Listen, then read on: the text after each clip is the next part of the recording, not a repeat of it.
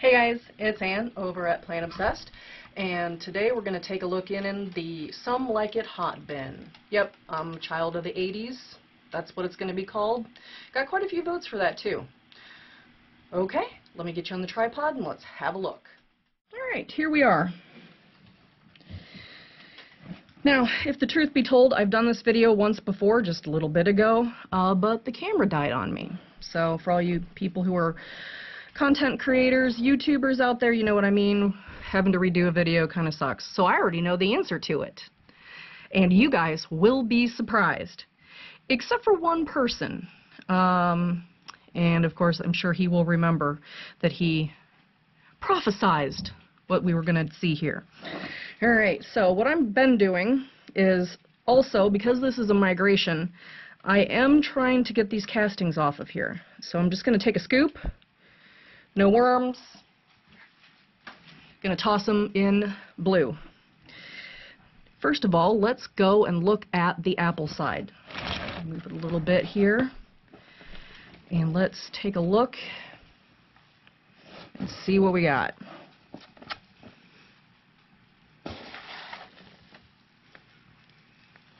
Definitely got worms.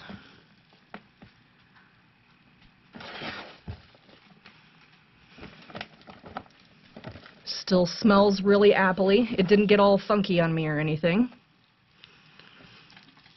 Sometimes when I put a lot of something in a bin, it will get funky and smell kind of like, I don't know, fermenting fruit or something. All right, so we've got we've got worms. Alright, so put that back over there.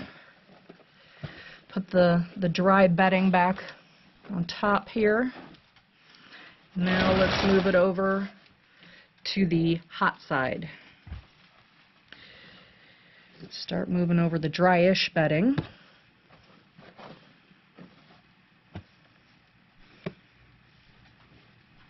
And we're starting to see worms. It still very much smells like peppers.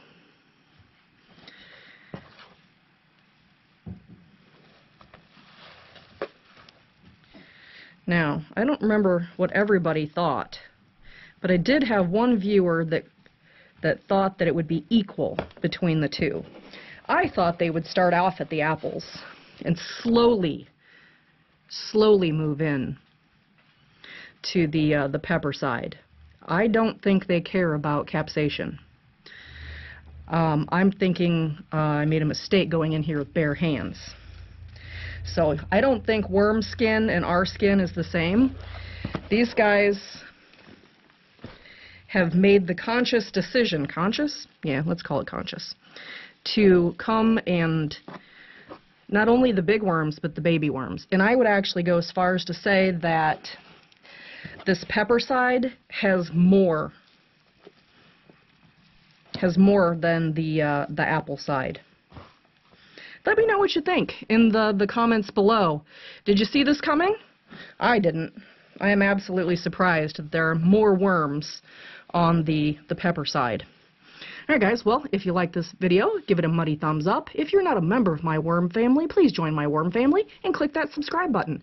And if you want to know what I'm doing when I'm doing it, ring that bell icon. Alright guys, thanks for hanging out with me and my worms, and everybody, have a good day.